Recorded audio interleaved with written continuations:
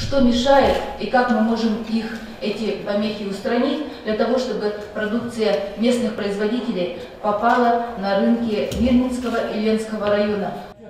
Участники круглого стола говорили о проблемах сбыта местной продукции в регионе. Их оказалось немало. По мнению сельхозпроизводителей, эффективным решением станет создание агрокластера – единого центра заготовки, переработки, хранения и транспортировки свежей продукции.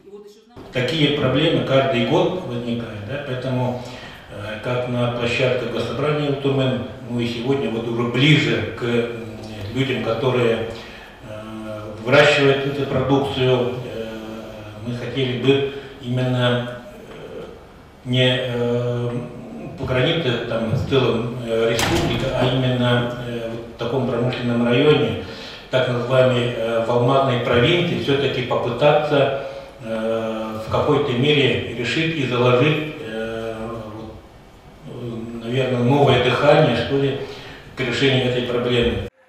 Праздник изобилия открыло красочное шествие в национальных костюмах. Роскошные наряды мастерицы шили сами – они пригласили всех желающих в хоровод дружбы «Осох и мира».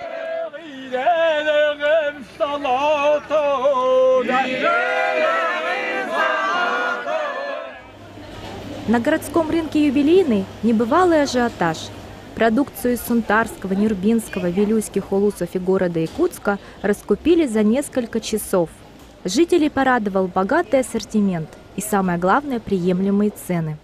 Натуральные продукты, масло сливочное, сметана. Молока мне не досталось, потому что поздно пришла, уже все разобрали.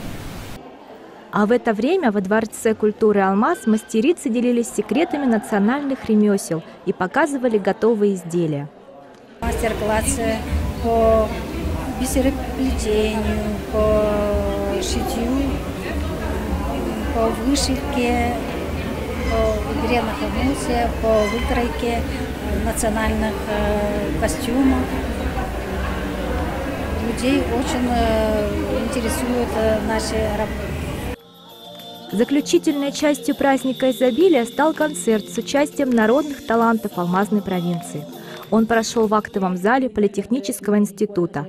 Организатор выставки ярмарки «Байдам-2017» Мария Христофорова поблагодарила всех участников и вручила благодарственные письма. Руководству вашему огромная благодарность. Вы разрешите вам благодарственное письмо вручить. Байдам-2017 продолжился и на второй день. Народ на ярмарке долго не расходился. Люди покупали свежую продукцию по доступной цене, пробовали себя в творчестве и участвовали в мастер-классах. Мария Урцева, Тимур Ширижик, телеканал «Алмазный край».